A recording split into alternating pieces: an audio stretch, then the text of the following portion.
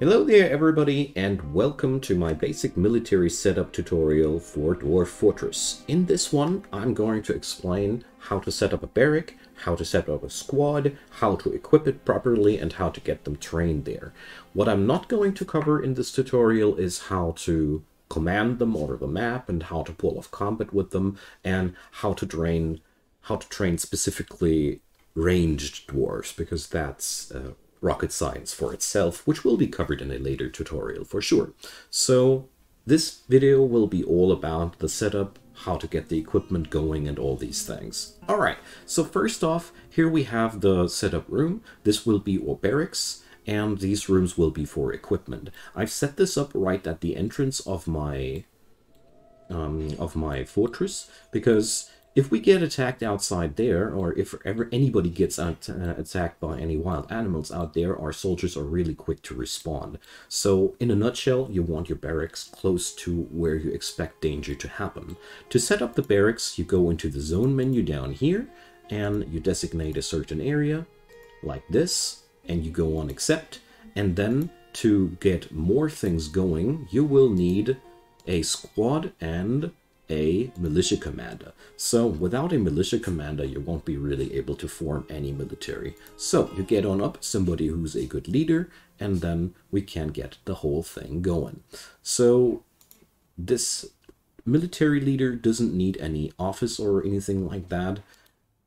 There's no necessity there. The next step is going to be we open up a squad.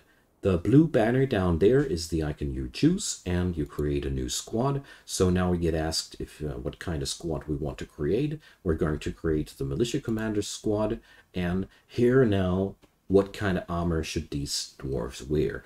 A good template for melee dwarves is metal armor.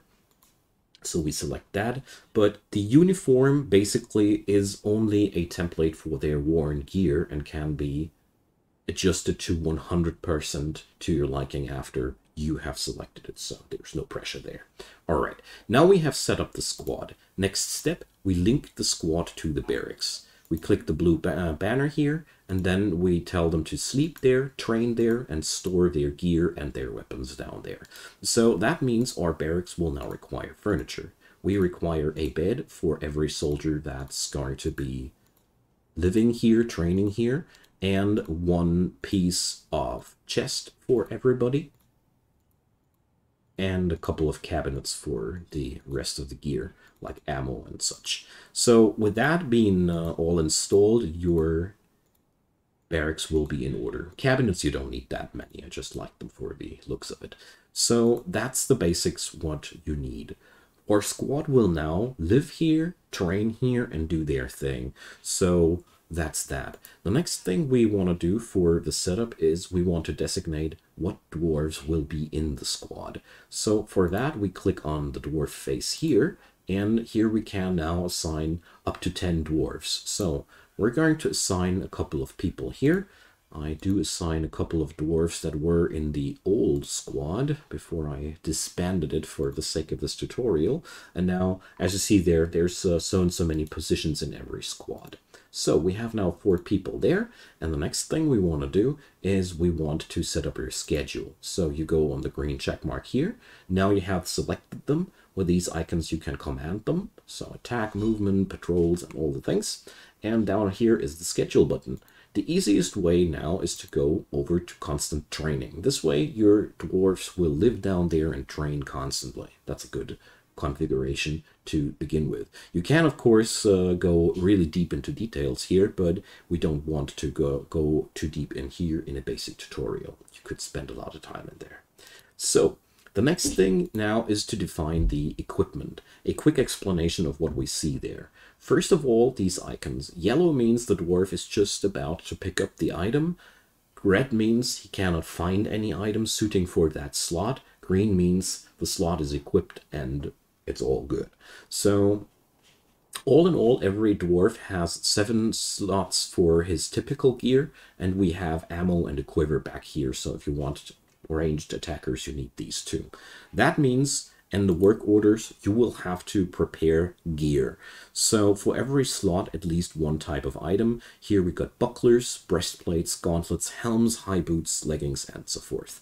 What's really important to note here is when you produce boots and gauntlets, every dwarf needs two gauntlets, so produce enough. Four dwarfs need eight gauntlets, and that uh, really was a problem for me. I didn't see that coming.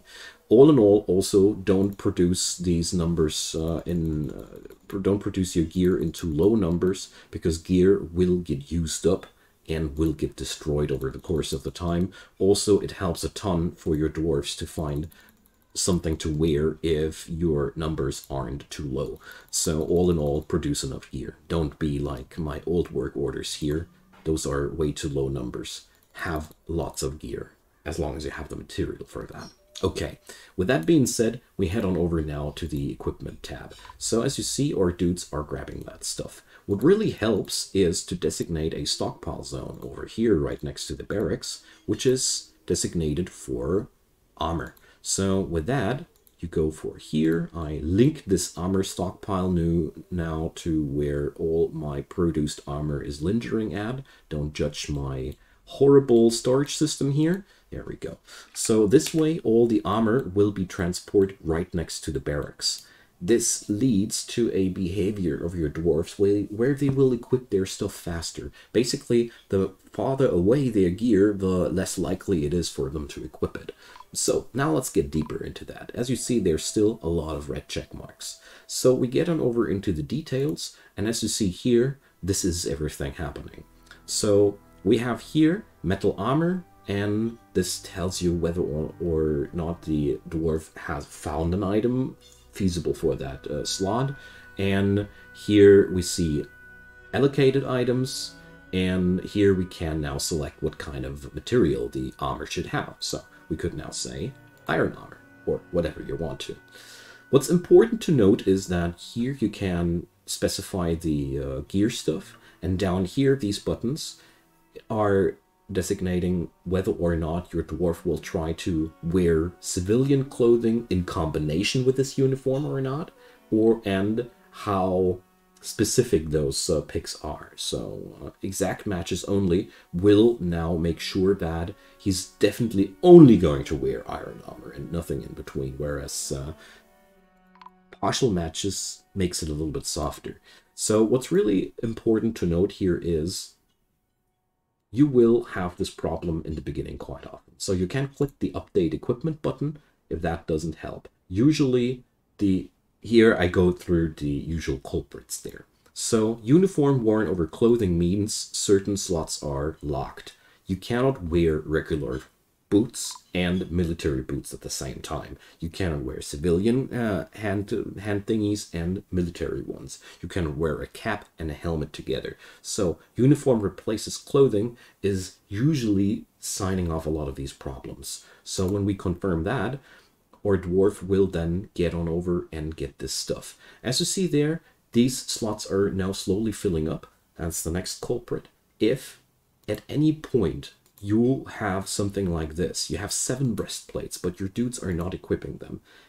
If these settings are okay, and uh, if you want to be really sure, you can also just delete the metal armor slot.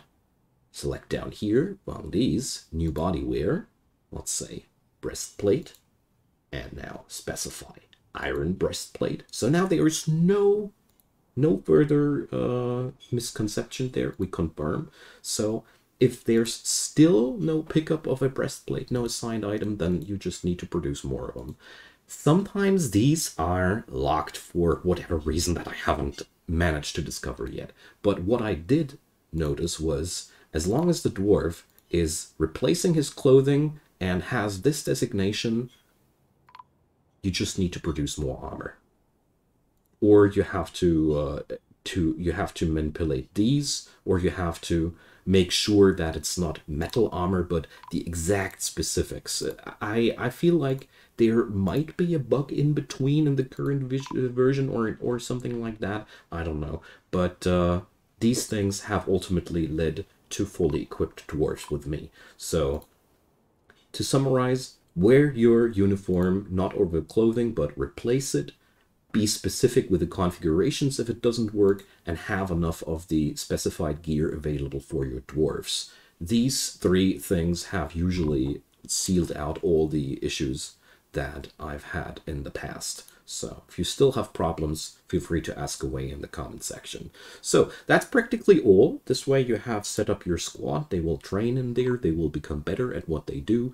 And most importantly, they are available for your safety. So I hope that was helpful for you. Feel free to leave me a comment down below. Feel free to add in something or ask away. I'm really open to whatever you have to say. Feel free to leave a thumbs up on that video and consider subscribing if you haven't done so already. There's daily content coming up from my side. And if you like this one, chances are you like the rest of the stuff as well. So thanks again for watching. Check out also the playlist down there, leading to various other Dwarf Fortress tutorials of mine. And a big thanks to the supporters of this channel. I'm really, really appreciating. And if you want to, check out the support links down there and start supporting as well.